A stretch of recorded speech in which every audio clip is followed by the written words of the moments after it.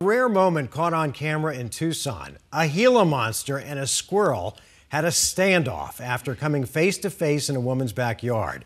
This video, captured by Claudine, thankfully had a peaceful resolution as the two agreed to part ways without getting violent.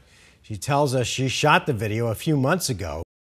They they were really this was like stone cold standoff and I really, honest to God, thought that one of them was going to dominate the other, and it it it didn't happen. I mean, they were they they were equals.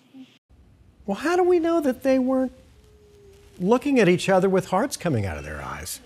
Claudine tells us she had previously rescued the Gila monster from her pool and believes that it came back to defend her backyard furniture, which the squirrel had been destroying.